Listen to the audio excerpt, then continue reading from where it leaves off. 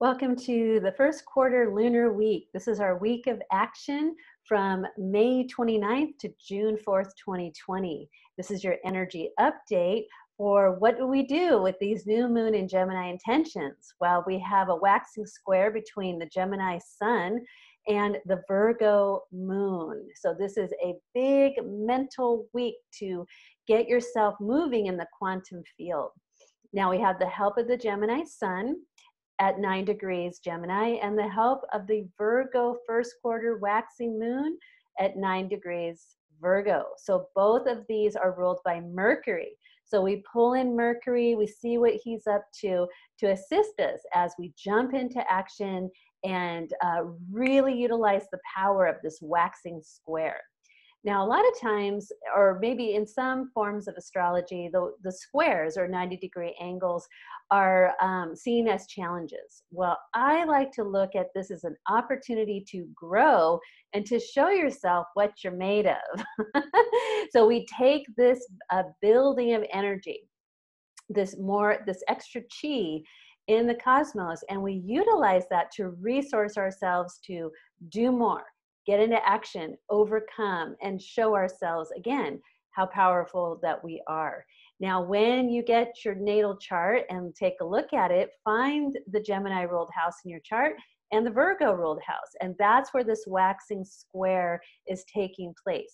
And so imagine a, uh, a creek and the water's moving so nice. It's so a healthy creek. It just, the water's moving. It's so great. Then all of a sudden, a tree falls across the creek and the water cannot continue moving, right? It's starting to build up behind the tree that fell. And so take this as an analogy of what's happening this week during a first quarter phase. So the water is still moving uh, behind the tree, right? It's still uh, in its uh, velocity and it's moving, but now it's getting stuck behind this tree. And so the weight of the tree has to be less than the velocity or weight of the water that's wanting to move through. So what happens is we get this square between the sun and the moon, and then we build up chi strong enough to break through and move that log or tree out of the way, and then the river and the creek is healthy again. So that's the vibration you want to tune into this week as you're getting your new moon and Gemini intentions into action because we're in 2020 and it's, you know, game on. Every lunar cycle, every lunar phase, we're taking full advantage of it to get ourselves where we want to be. Now, with Gemini and Virgo being both ruled by Mercury, we're being shown that we got to move the energy in the quantum field, which starts with the mind, the mental body, our thoughts, our words, our actions, right? So, this is the focus. And Gemini is really super powerful when it is focused, right? Because remember, it's duality. It's the two minds, the twins, this or that, left or right, yes or no. And so we want to bring um, our, our mental focus into a place of concentration. And so when I cast the chart for this week, when the sun and moon come in direct alignment at that 90 degree angle, and we get a, a prescription from the cosmic doctor. Okay, how do we use this? What's the game plan for this week? And so the game plan comes to us like this. So we have the Virgo first quarter moon. It's known as the counting moon. And the counting moon is about being on the lookout for analysis paralysis, you know, uh, gorged on data, starved for meaning, according to Barbara Marciniak. So we want to be looking at where are we kind of getting mentally stuck by narrowing our focus too much and being um, kind of held captive, held captive by the details, right? Because that's Virgo. I want to scrutinize. I want to get in there. I want to research. I want to get a ton of data and then start to make my hypotheses. So we take that beautiful uh, mercurial energy of the researcher and then we put it in and we ground it through the earth vibration of the mutable energy of Virgo, and we say simplify. Simplify what matters most. Now, remember, as we started this Gemini lunar cycle, Venus was conjunct, uh, Venus retrograde was conjunct Mercury at 20 degrees. So, Venus is still part of this beautiful unfolding over the next three weeks. And so Venus is reminding us as she moves backwards in time towards the, the Gemini sun on June 3rd and 4th, they'll be conjunct. And so Venus is saying, uh, simplify, like the Virgo says, but what matters most to you? So continue your journey on uh, connecting with your values, discovering them, rediscovering them, and putting your focus on that which it has value to you, has meaning to you. And the rest, just uh, let it uh, organize that, like let it go. Uh, declutterize that. You don't need it moving forward. So you want a nice, beautiful, almost like uh, in the Virgo definition of this uh, Venus uh, uh, search for meaning and beauty, is like that minimalist kind of uh, uh, environment, right? Where everything's clean and clear, nice lines, things match. It's not, you know, too busy. It's just free. You want to free the space. So this is a great week for declutterizing and doing some feng shui. Okay, so the counting moon helps you get out of analysis paralysis by simplifying. Venus says, come in and uh, what matters most to you. And Venus also says, you know, spend time looking at beauty. And beauty is in the eye of the beholder. So I want you to be on your search for beauty. Make it a daily thing, real simple. You might get up in the morning, go for a walk, look for something beautiful that catches your eye, that draws you to it. Because Mercury, Gemini, and this mutable lunar cycle is it wants you to keep moving and be uh, what's pulling your attention and move towards that gravitate and be curious why am i resonating with this? or i want to move this way or i might be driving and for some reason i just want to go left instead of right. Let yourself do that because these are uh, communications from spirit and soul and your guides and these are your bread breadcrumbs. These are uh, follow that path because it's a path of synchronicity so this is where you can find the most resource energy this week to help you overcome or take these opportunities to evolve, shift, change, and grow, right? We want to keep growing. Now, with the counting moon at nine degrees Virgo, the part of fortune showed up in the chart at 11 degrees. So when I first saw that, I said, oh, 911, what's going on here? 911 or 911. And so I did take a little, I have to confess, I did go into the chart of 9 11. Uh, as opposed, I did the fall equinox chart and then I did a transit reading on uh, 9 11. And it was pretty eye opening that what we do now helps shape the what's possible um, at the end of August, moving towards um, fall equinox in uh, September 22nd.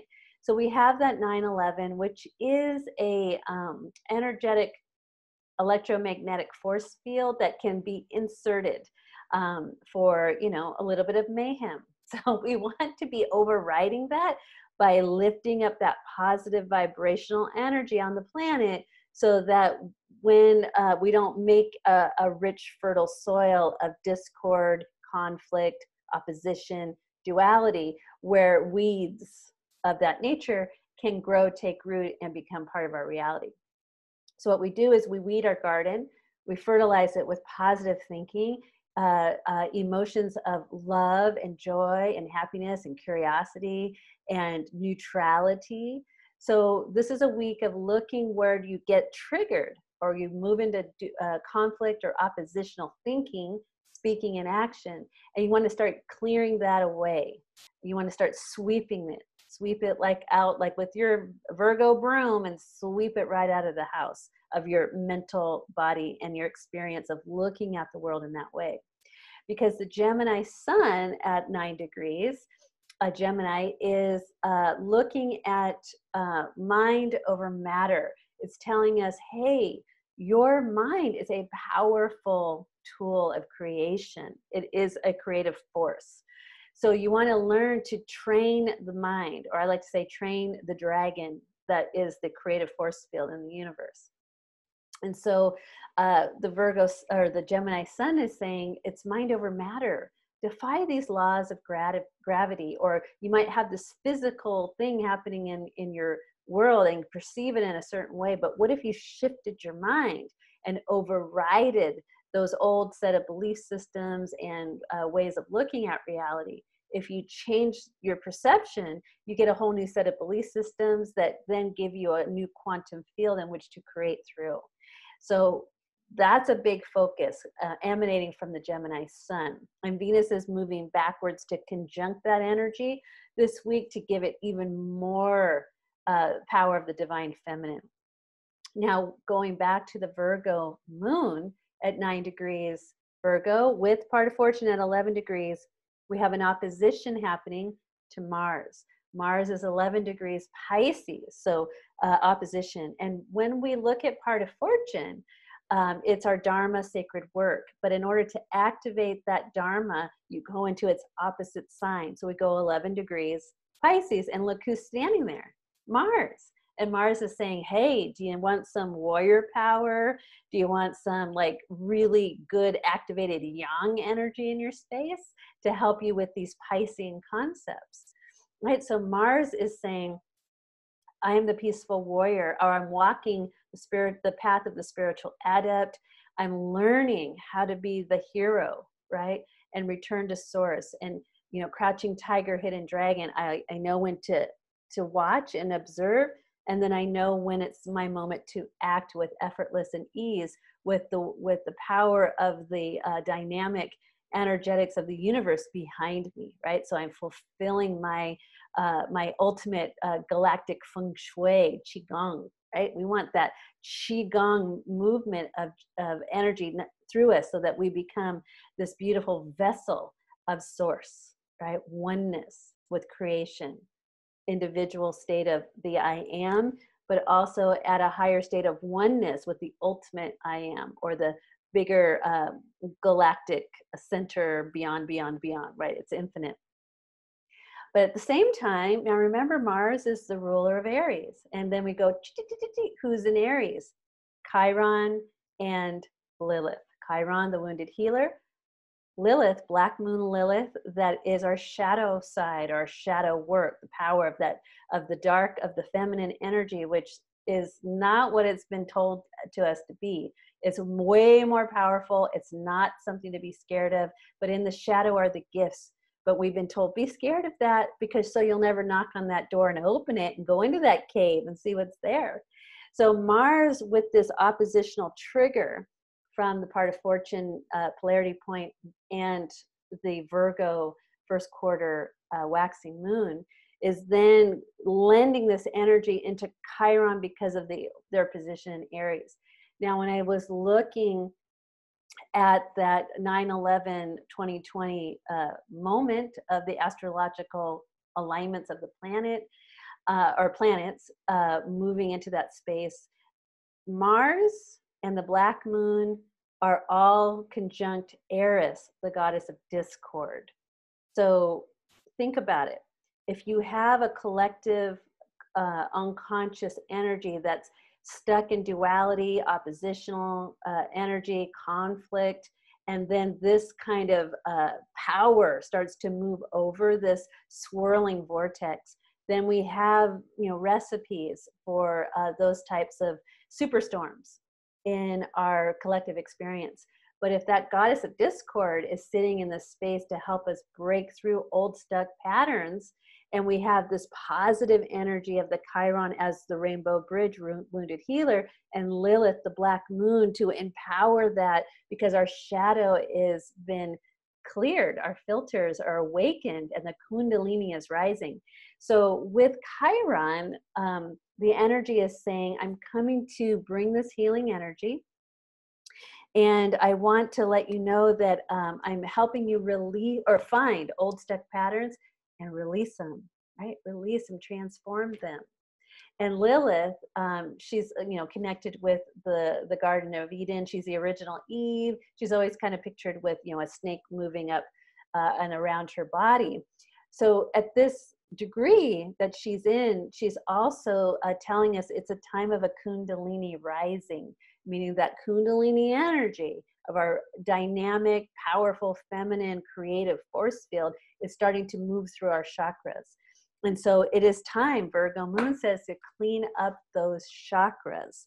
So when you join the Lunar Ladies Club, join us in the Lunar Ladies community, we're focusing on that. We're getting teachers in, we're getting information so that we can, uh, you know, create a, a field of awareness and then saying, hey, let's do this together build that collective tidal wave that helps everybody out because uh, you know it's the power of the pod strength in numbers so when i go to look at next week's full moon lunar eclipse july 5th uh, over uh, the great attractor point uh, in Sagittarius, which is the high priest moon, there's a lot going on.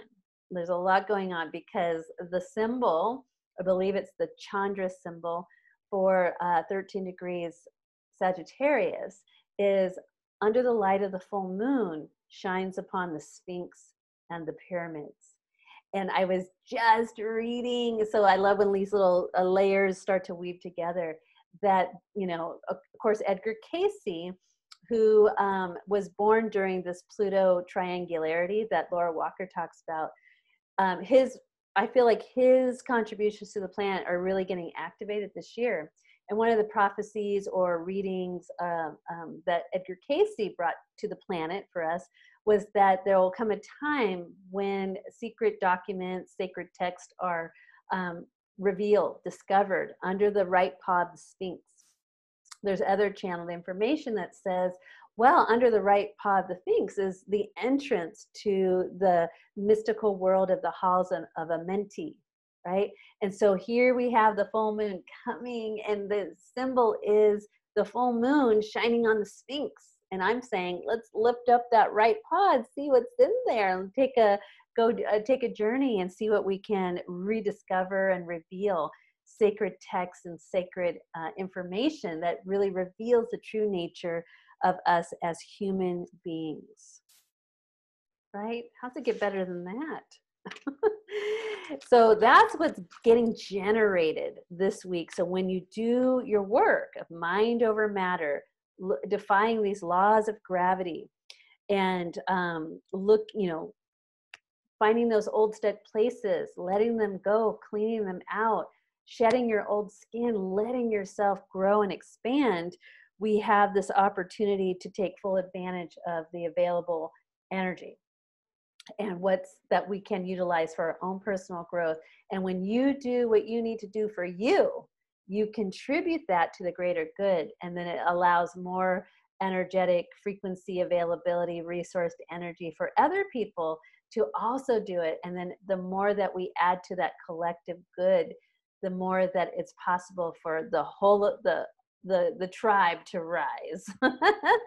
so I just want to leave you with um, the uh, understanding of gravity according to Dane Rudhyar when he was in his great work of the Sabian symbols. And so he's defining gravity as, you know, the universal binding force of the material world. So it's these magnetic bonds that keep us, or these laws of physics that keep us having this experience. But this experience is dynamic and quantum and changing and it's holographic, and there are no really in the higher realms of, of energy at the subatomic level. these laws cease to exist because the molecular bonds break down and it's it's free energy just continuing to move so he's saying pierce those laws of the physical to attain a higher consciousness of existence. And so this is we're moving towards understanding what is immortality. And that to me is what's sitting under the right paw of the Sphinx is their true nature.